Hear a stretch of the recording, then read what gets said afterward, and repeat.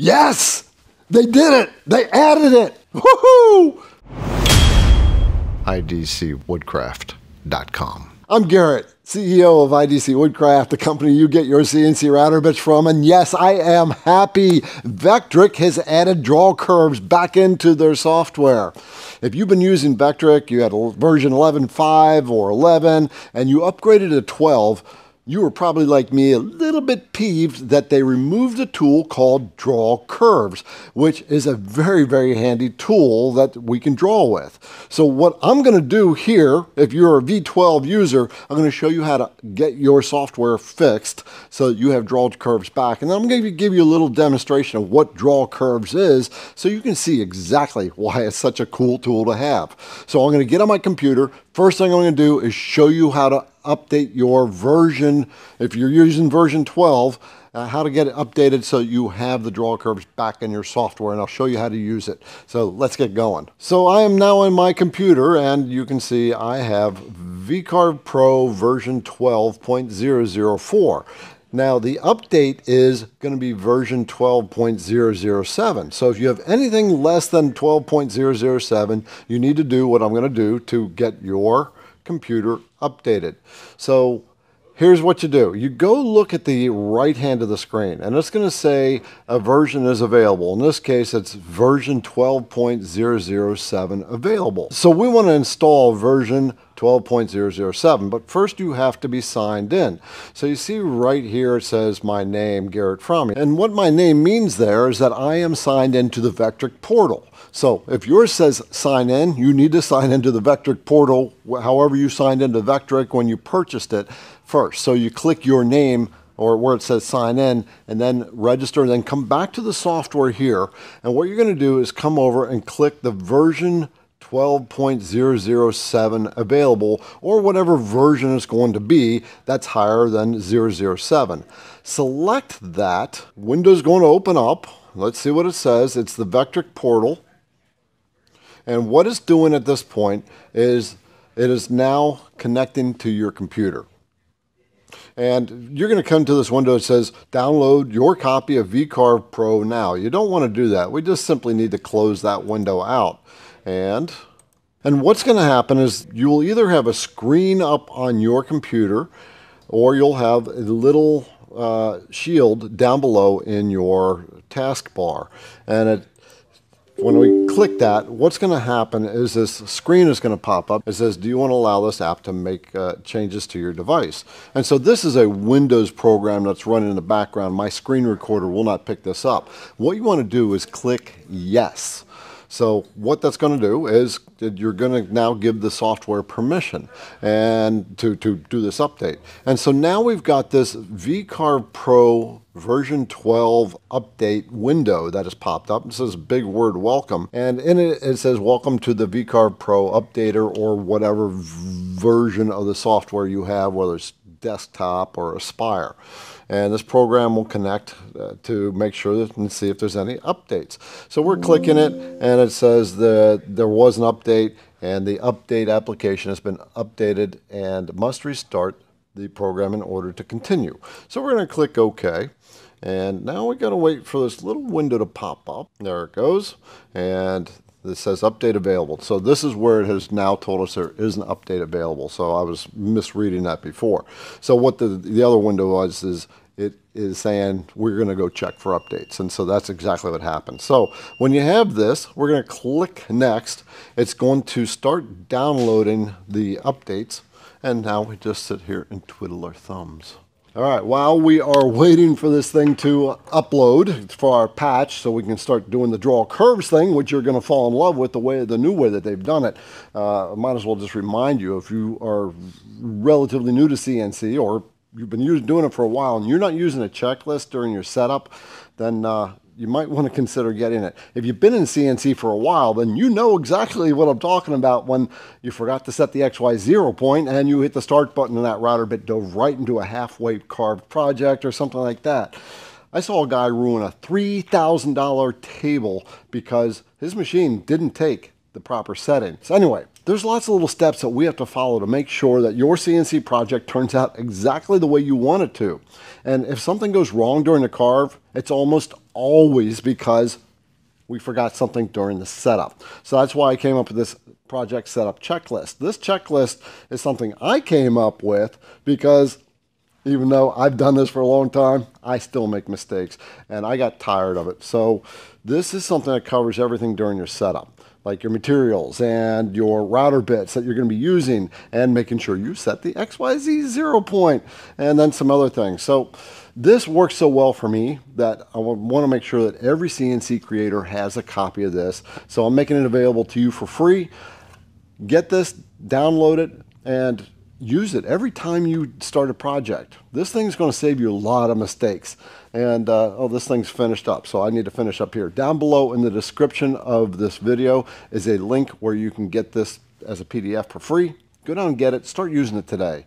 This thing will save you a lot of mistakes. All right, let's get back to this and finish this update in the Vectric. All right, we've come, now come to this point where the the patch is installed. And what it's saying now is that we have to uh, it has to close down the Vectric program and restart it. And on the screen here it says retry or cancel. Now do not click any buttons on this little window.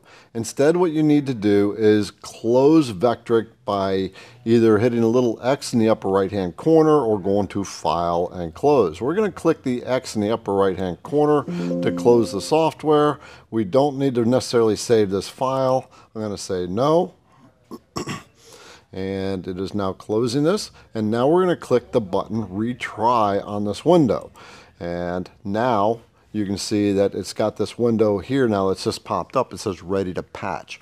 So it's really important that you do not click the retry button or to cancel that little window. You need to close the software and leave that little tiny window open all right, when you do that, then you click the start button and now all the patches are going to start to get installed into software. Vectric is pretty awesome. Um, I knew that they were going to put this back in because it was one of those tools that so many of us use. And shortly after we get this taken care of, I'm going to show you what this draw curves tool is because you're going to love it if you've never used Vectric. And if you have used Vectric before, put down in the comments how cool this draw and how useful this draw curves tool is.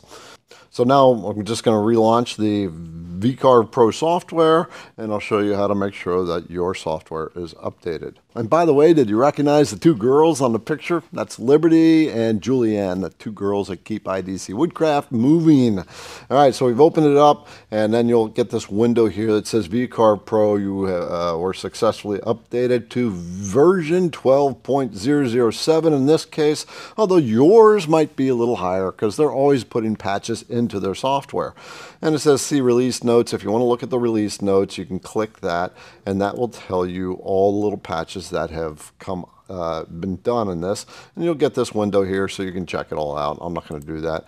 So we are now taken care of. Now, if what you'll notice is first of all in the upper left corner, it now says version 12.007, which means we are updated. And if you go over to the right, upper right corner, it just has my name and it doesn't say anything about versions available. And so what that tells us is we are currently updated. So this is how you do the updates. Make sure you get this update because this draw curves tool is so useful. All right, what I'm going to do now in this video is I am going to go and demonstrate draw curves real quick because they have changed the way it works. So it's really important that I show you how this works. So let's get back into the computer and do that. So the first thing we have to do is give you something to draw curves around. So what I'm going to do is I'm going to import a bitmap into this image. A bitmap is basically a picture or some kind of drawing that you can uh, import and draw around. All right, let's get an image imported. So what we're going to do is come over to this icon under File Operations. It says Import a bitmap. Select that, and then I'm going to go to a directory where I've got some pictures. There we go.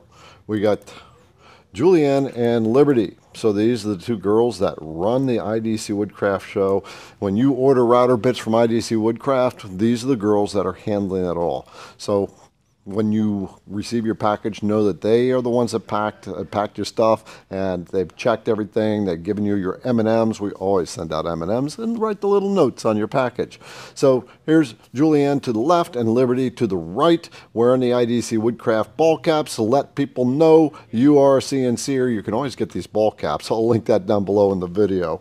Uh, okay, so here's what draw curves is. Right now, we've got this under create vectors, the draw a line polyline. And basically what the polyline tool is, it's draw straight lines. But that's the one where we're going to do the draw curves at. So we're going to select that and simply come out into the design field and you see my cursor has that little zigzag above the plus. Now the plus symbol is the center of the cursor. That's where all the drawing is going to take place from. The little zigzag at the top is telling us what mode we're in. So we're in polyline mode. So we can draw a bunch of straight lines just like that. I am moving my mouse and then I'm clicking my uh, my left mouse button. Now I'm going to turn off my snaps for a moment because that's getting a little messy there. And now what you can do, we're going to, well, we're going to undo that. We're going to hit the delete, go back into the polyline tool, and now you're taking a look at my cursor. I'm going to hit the letter S on my keyboard. And I want you to watch the little zigzag line above my cursor. And that is going to change into a little swirly line. So what that has done now is that has gone from drawing straight lines to drawing draw curves. So when I actually start clicking, you can see now I'm not creating straight lines, I'm creating curves. And let's say I'm drawing a curve like that and I want it to go back to straight lines. All I have to do is hit the letter S again and now we're back to straight lines, but it's maintained the curves that we had before. Now, here's where draw curves gets really cool. First of all, I need to end this drawing of this line, but I don't want to get out of the draw line mode. So all we have to do is hit the space bar and that will reset the start of the draw curves. So we've got Julianne here and what we want to do is actually trace around Julianne a little bit. So you can see right now my cursor is the zigzag line. I'm going to hit the letter S and it's going to switch over to the swirly line.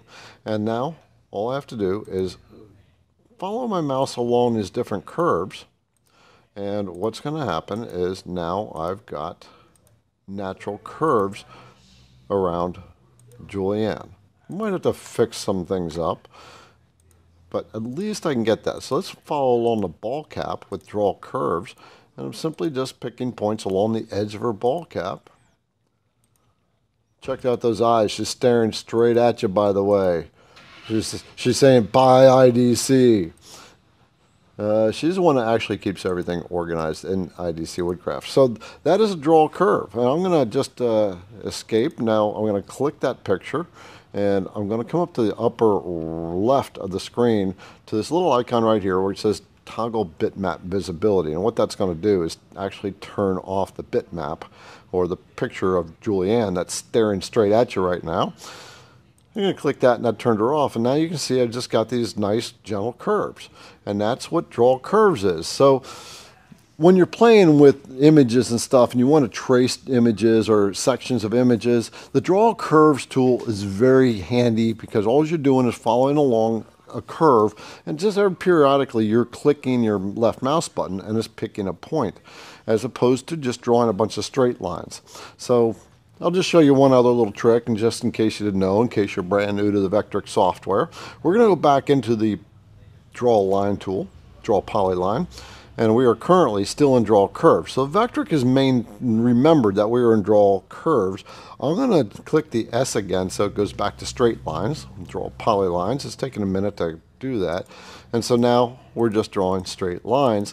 Now what I'm going to do, when I'm going to click right here, I'm going to hold my left mouse button and start to move the mouse. So I'm going to click, hold, and now you see it's actually drawing a curve. I'm going to hold again right here and drag the mouse, and now it has done a draw curve. Now you see these little blue buttons there, there's little blue tabs.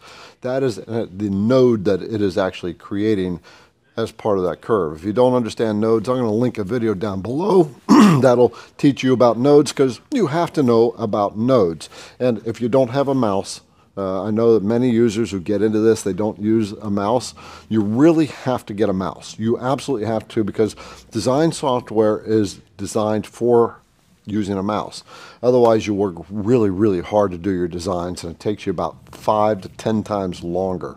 So that's draw curves. Stop by idcwoodcraft.com uh, to check out your CNC router bits and give me a thumbs up if you think this video has helped you out and you're as happy as I am that yes, we got draw curves back. I knew they were going to do that. And subscribe to the video because I got a ton of videos for you, uh, especially if you're brand new. With that, check the links down below in the description because there's some cool stuff you need to know about, especially being a brand new person if you're brand new. And with that, have a great day, better tomorrow, and happy CNCing. IDCwoodcraft.com.